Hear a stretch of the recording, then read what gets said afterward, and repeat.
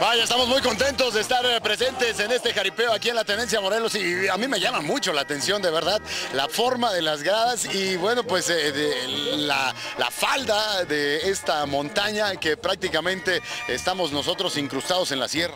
Lo que logra hacer la madre naturaleza, Luis. Un lugar que, bueno, pues surte de agua a la ciudad de Morelia y que al paso de los años, pues eh, se ha ido pegando ya la ciudad de Morelia a lo que viene siendo esta tenencia de Morelos. Así es, como tú lo mencionaste, esta tenencia de esta tenencia Morelos ha sido muy, muy, muy socorrida por Dios, ya que les dio la materia prima para elaborar, como tú mencionas, el tabique. Y decimos tenencia Morelos y decimos, bueno, ¿por qué de Morelos?